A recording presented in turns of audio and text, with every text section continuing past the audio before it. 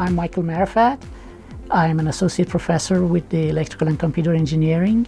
I have been at the University of Arizona for over 25 years, and my work is in applications of artificial intelligence in engineering problems. I uh, have worked with robotics problems, computer vision problems, wireless problems, and many other applications. Let's take the case of health and precision health. With the uh, new advances that we have in technology, we are able to monitor patients, for example, remotely.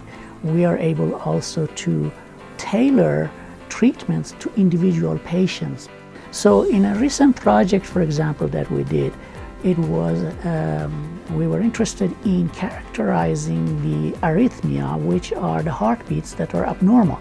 We were able, with the use of applying the machine learning techniques, to detect when they develop an abnormal uh, arrhythmia. And this is very important because then, if we could do this accurately, we would be able to predict that something negative is going to happen.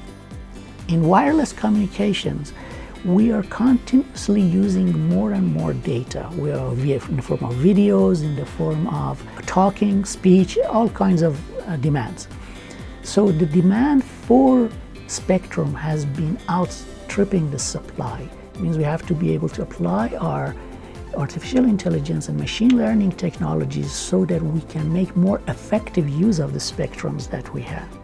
The fact that we can constantly learn, the fact that we can work on the issues and problems that as we see important and we have the freedom to do it, the fact that we can get to see the results of our work with students. There are some things that make a professor's job as the best job, I think, in the world, and these are part of those.